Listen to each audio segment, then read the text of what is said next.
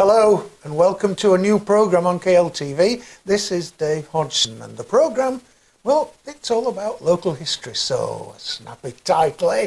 What could we call it? We decided upon the local history programme, which of course will do exactly what it says on the tin, won't it? We'll be doing both outside broadcasts and studio interviews every month. And our first guest is Stan Atkinson of Oakes, which is here in Huddersfield, as I'm sure you'll know. Stan and I are presenting a session of old photographs, and Stan's great knowledge will add plenty to the background, and so on.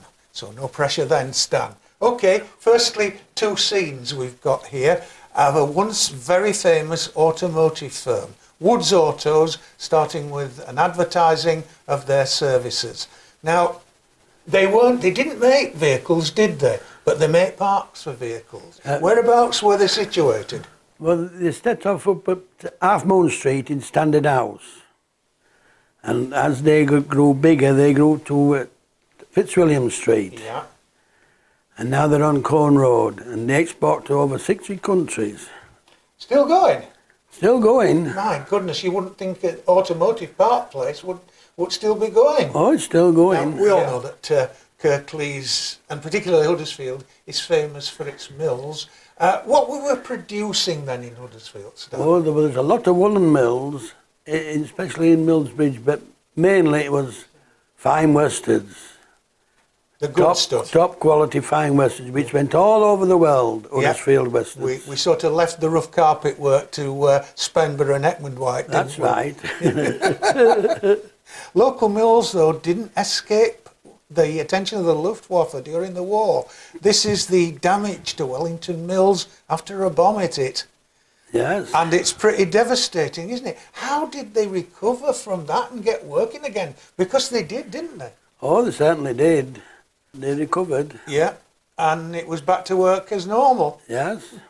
Now, one uh, set of mills that there is some controversy and mystery about, and that's Titanic Mills and what it produced, or rather didn't. And you've got a different angle from most people who talk about it, haven't you? Yes. Well, I worked at George Mallinson in the 1980s, and the, the old battery was there.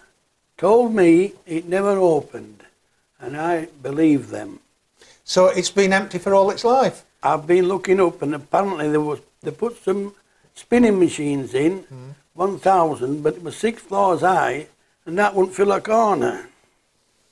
And there's no records of any production whatsoever. Right. No photographs of any workers, which the examiners asked for. Nobody to come forward, and nobody knows anybody that's worked there. So you would say that's pretty conclusive, I Well, suppose. I, I know it is, but Yeah. Everybody doesn't believe Yeah. me. Now, now, you mentioned the workers there. What was the camaraderie within the mill, wor- the, the mill workforce? Oh, absolutely wonderful. Everyone got on with each other, and it was really great atmosphere. And I mean, it was a time of philanthropy, wasn't it? I mean, the mill threw Christmas parties for all the workers, didn't Oh, they? but they hired a train and took us to Blackpool, Broaden in Graves. and, then, and then at Whiteley's Cafe in Huddersfield, Yeah. Free coffee and a free bar all night for all the workers. Doesn't happen nowadays, does it wonderful was. no.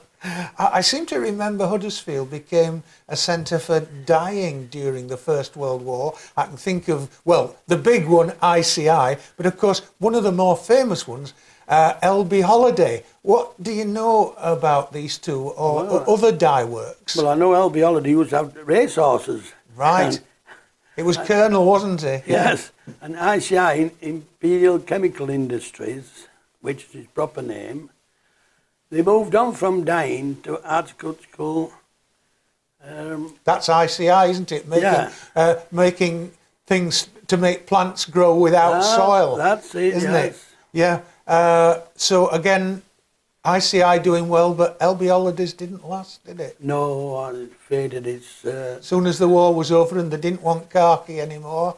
it's all garages now. Yeah, yeah, all garages. Uh, there were advertising stunts that firms used to employ. Oh, there was. Crowthers the tailor were one of these that had a great idea with a really kind of off the wall challenge. Can you go through what they did for us?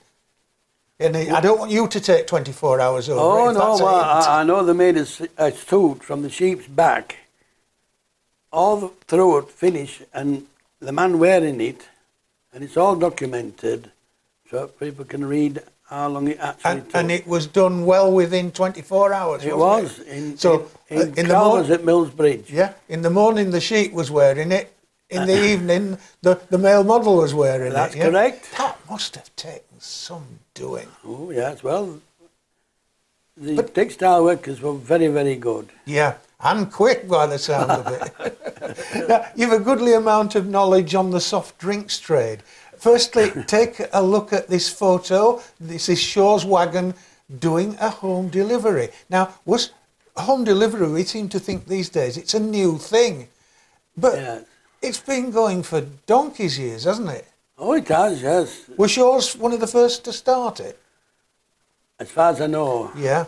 unless Corona, but I think it was Shaw's. Shaw's that did it. In But Huddersfield. It must have taken a heck of a long ra- uh, time to get round everybody that wanted bottles of pop, wasn't it? Well, they- started up, Upper Red Road, Yeah. and then That's more or less where the bus station is yes, now, and then moved down to uh, Willow Lane? Yeah. in uh. Wonderful factory there with its own spring water. That'd be good. Yes, and then Schweppes bought it and, and made a mess of it. Uh, yeah, is, is, it, is it gone completely now? It's all shut down and Yeah. boarded up.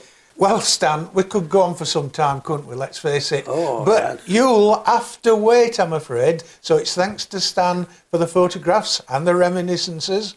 Next time, we'll be actually going out of the studio and going to, would you believe, a military museum. Not heard of it. And if I said it's in Milnsbridge, so it's local, and you still won't have heard of it, I'll bet. But all will be revealed next month. So why not trace some local history yourself in the meantime and let us know what you're doing because we'd love to tell everybody. Bye for now.